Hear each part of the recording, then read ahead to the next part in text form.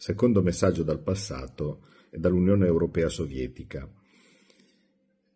Per chi in futuro nel 2024 dovrà votare per le elezioni europee è giusto che sappia qua nel passato che cosa è successo e magari riuscirà a liberarci in futuro.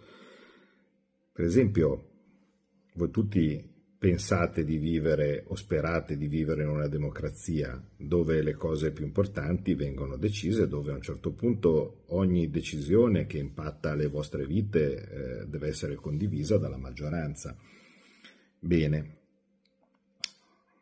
il fatto è che purtroppo nell'Unione Europea Sovietica eh, la democrazia non piace, cioè quando ci sono i voti meglio non, non, che la gente non sappia, la gente non deve sapere come e perché vengono organizzate le cose. Quindi immaginate che anche se vi sembrerà incredibile, ma credetemi è vero, eh, nelle, le, tutte le decisioni economiche nell'Europa Unione Sovietica vengono decise in un posto che si chiama Eurogruppo dove tutti i ministri vengono riuniti in una stanza dove ricevono un foglio dal politburo del, del, del partito unico del, del più Europa